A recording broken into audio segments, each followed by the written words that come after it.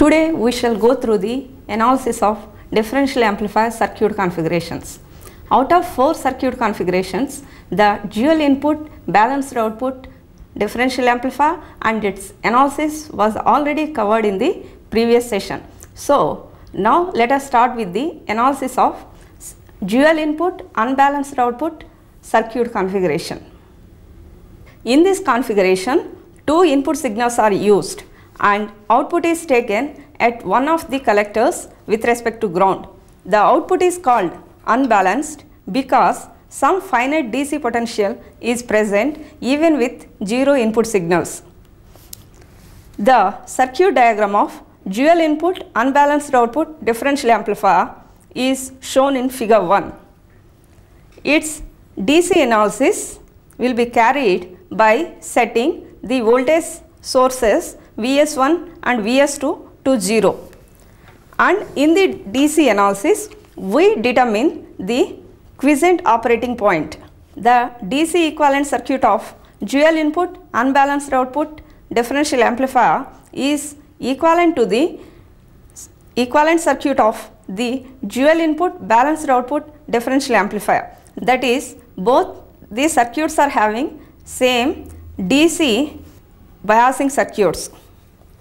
The operating point is nothing but collector current and collector to emitter voltage and they are given by ICQ equal to IE equal to VEE minus VBE by 2RE plus RS by HFE.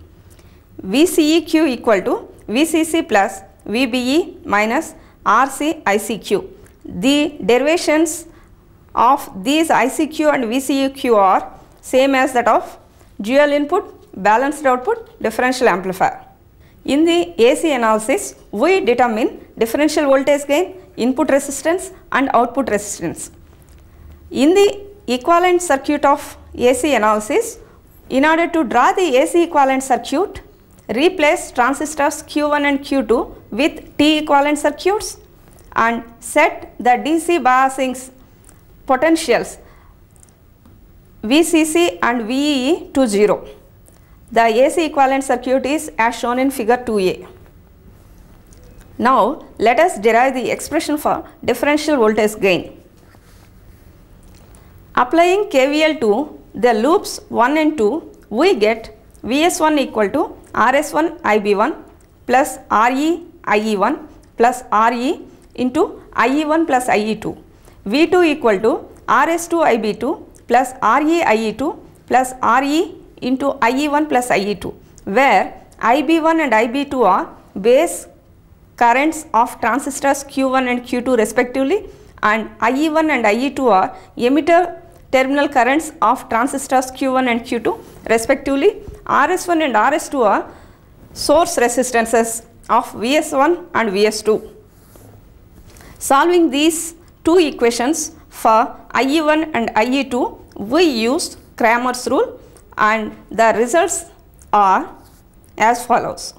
IE1 equal to RE plus RE into Vs1 minus RE Vs2 by RE plus RE whole square minus RE whole square. IE2 equal to RE plus RE into Vs2 minus RE into Vs1 by RE plus RE whole square minus RE whole square that equal to Re into Vs2 minus Vs1 by 2 Re into Re. This is because Re is very very greater than the T equivalent resistance Re. Therefore, Ie2 will be simplified to the expression Vs2 minus Vs1 by 2 Re. The output voltage is given by V0 equal to Vs2 because the output is taken only at the collector port of one of the transistors. That too here in the circuit diagram the output voltage is taken from the transistor Q2 collector port.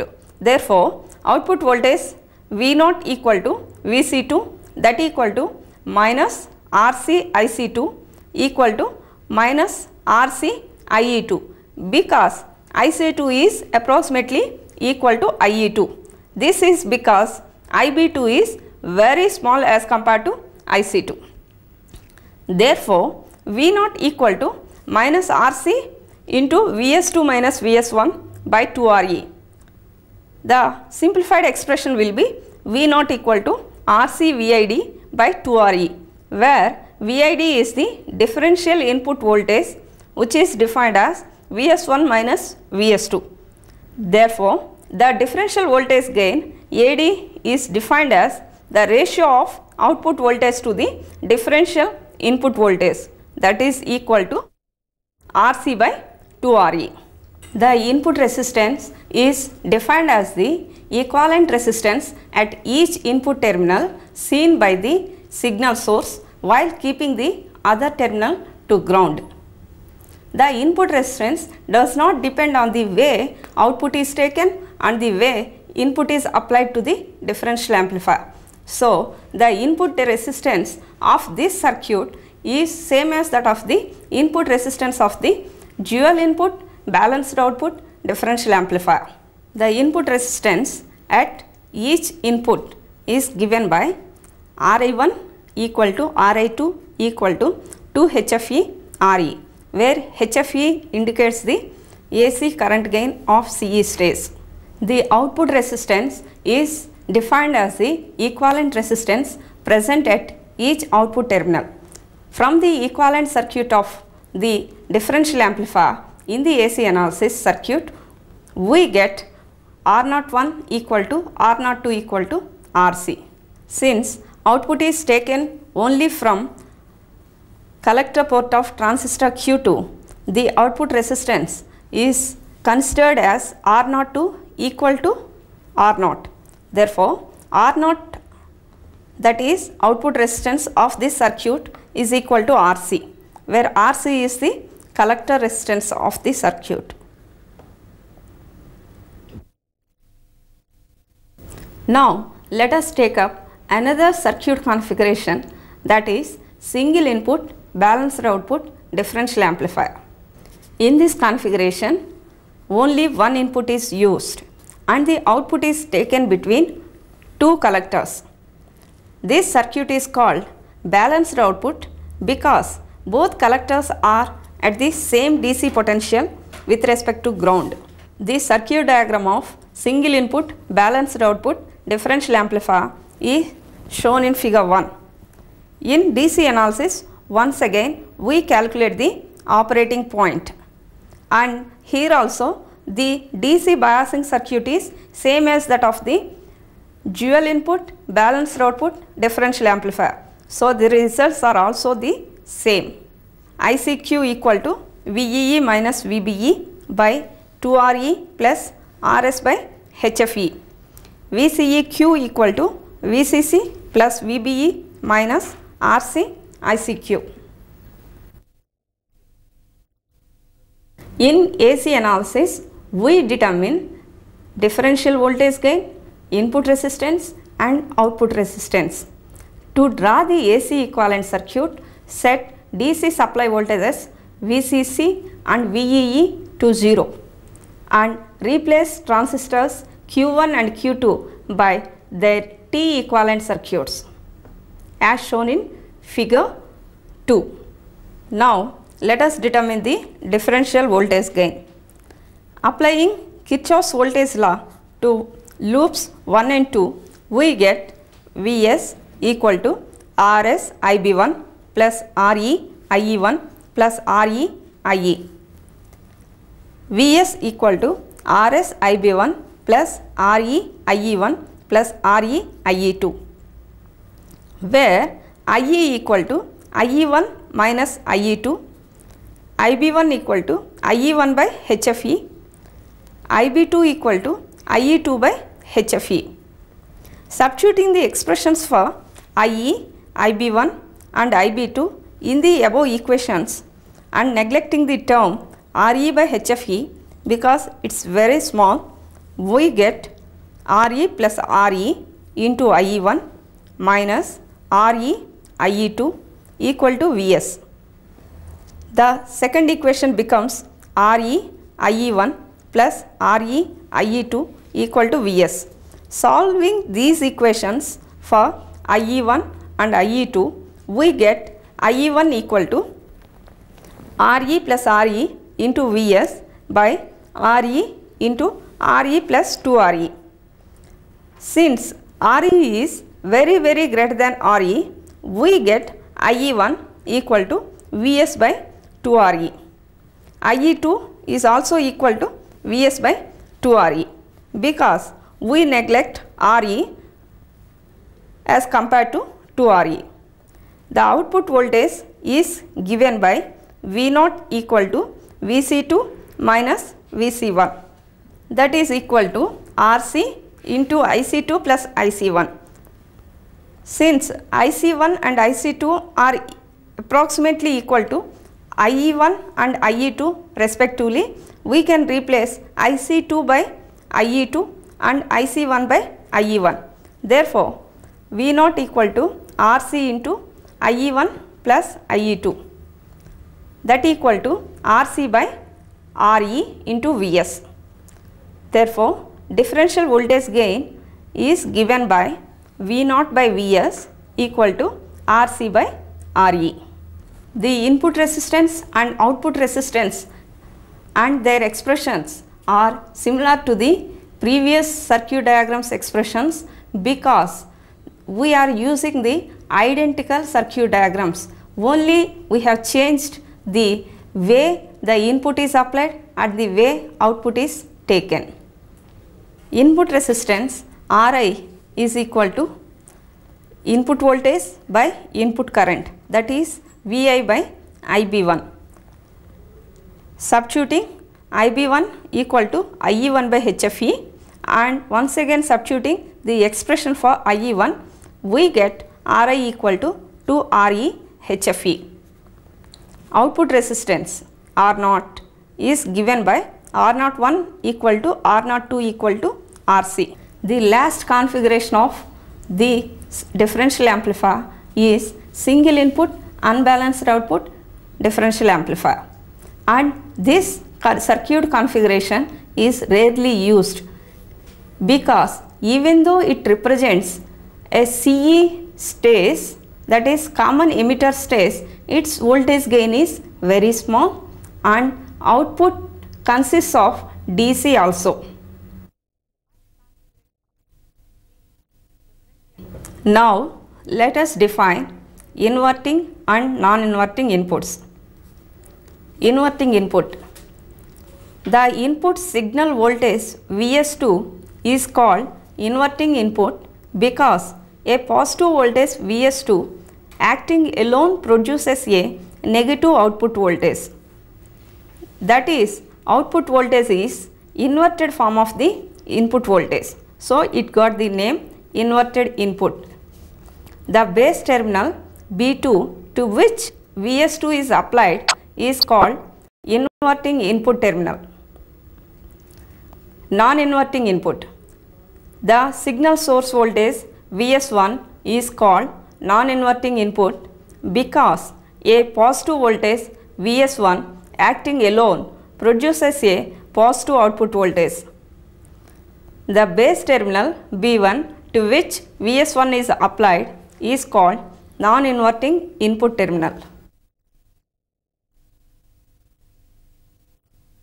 The differential amplifier is used to amplify the difference of the input signals. That's why it got the capability of rejecting the unwanted signals that is common mode signal present at both the input terminals. The common mode signal is nothing but the input signal which is present at both the input terminals simultaneously. The common mode signal configuration is shown in figure. In this figure, the input terminals B1 and B2 are tied together and a single signal source is connected to the terminal where RS indicates the source resistance. Vs is equal to VIC where VIC is known as common mode input signal. The differential amplifier has the capability of rejecting noise or hum because if noise is present it will appear at both the input terminals simultaneously as shown in figure. Therefore, the noise now becomes VIC and hence the output will be equal to 0 for that noise.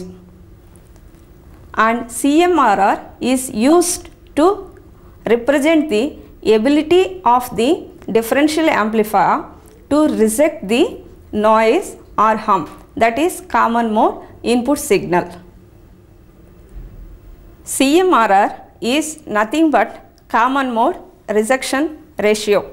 It represents the ability of the differential amplifier to reject a common mode input signal.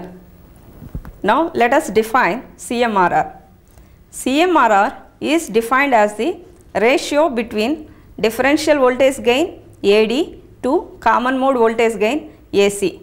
That is CMRR equal to AD by AC where AC is the common mode voltage gain which is defined as VOC by VIC where VIC represents common mode input signal that is same signal connected to both the input terminals and VOC represents the resultant output. For matched transistors VOC equal to AC into VIC where VIC equal to VS1 minus VS2 but VS1 equal to VS2 equal to VIC. Therefore, VOC equal to 0 and hence CMRR equal to infinity. That is ideal value of CMRR equal to infinity. Practically, we can't get ideally matched transistors, but the value of CMRR depends on how far these transistors are matched. Even if there is a slight change in their characteristics, it leads to the reduction in the CMRR value. So, practically select a differential amplifier with high CMRR which represents the rejection capability of the differential amplifier in a better way. Now, let us discuss about DC level translator. The drawback with the IC technology is that we cannot fabricate an IC with large value of capacitance. So, for broadband amplifiers, we have to go for DC coupling that is direct coupling. But in differential amplifiers, we are having CE stages. In CE stage, the output DC voltage is high as compared to the input DC voltage. So, if a number of CE stages are cascaded, the ultimate output DC voltage is very high and it reaches the power supply voltage and it throws the output AC signal into saturation condition that is it clips the actual output signal. So, we have to use a DC level translator which shifts this DC signal present at the output of the intermediate stage that is dual input unbalanced output differential amplifier to the ground level. It is also referred to DC level shifter. Now, let us go through the different circuits used for DC level shifting and they are as follows. First one, emitter follower with voltage divider level shifter. The common collector configuration circuit is called emitter follower in this circuit, output is taken from the emitter terminal. That is load resistance is connected in the emitter terminal. And that too in this circuit diagram two resistors are used and the output is taken in between these two resistors. That is potential divider biasing circuit is used. Because of this potential divider circuit which consists of R1 and R2, we get the current passing through these resistors R1 and R2 given by I equal to VE by R1 plus R2 where VE indicates the emitter terminal voltage. The output voltage is given by IR2 and the emitter terminal voltage is given by Vin minus VBE where VBE represents the base to emitter voltage and it is a fixed quantity. VBE equal to 0.6 volts for silicon transistor and 0.2 volts for germanium transistor. Therefore, the output voltage of this circuit when input is Vin is given by Vin minus VBE into R2 by R1 plus R2. The drawbacks of this circuit are 1. Its AC gain starts decreasing as R2 is decreased to improve the net DC level shift. 2. Its output impedance is also relatively high which is a disadvantage of this circuit. The second type of DC level shifter is avalanche diode DC level shifter and this circuit diagram is similar to the previous circuit diagram whereas the resistor R1 is replaced by the avalanche diode. Its output voltage is given by Vin minus VBE minus VB where VB is equal to the breakdown voltage of the avalanche diode. It is also having a drawback. Its drawback is that it is not suitable for low level AC signals due to excessive noise generated by the diode dB. The next DC level shifter is a PNP NPN DC level shifter. It is as shown in figure. Its output voltage is given by Vout equal to R2 by R1 into VCC minus VBE minus Vin where VBE is the base to emitter voltage of composite PNP NPN connection.